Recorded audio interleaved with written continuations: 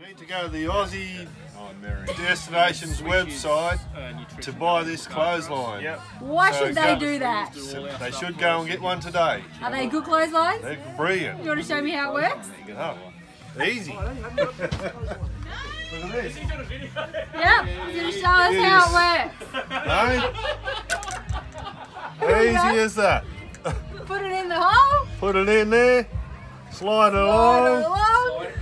Hey? Too easy. Whoa, nice work. High five. Where's my high five? No. Slip it in. Slip it in and slide, Slide it it. along. Slip it. And Slip it don't, in and you slide it. and it don't come out. Perfect. Now, have you ever used one of these before? Oh my god, no. Have you ever seen one of these No, before? they are amazing. Are you going to go and get one I now? am. Yes. Alright, we've got another one coming in to try out the slide and dry pegless clothesline. So you just pull it across, Slide it in. slide it out. Slide it in. We're going to use the orange one. You've got to follow the orange one. Slide it in, slide it out. Oh. No pegs.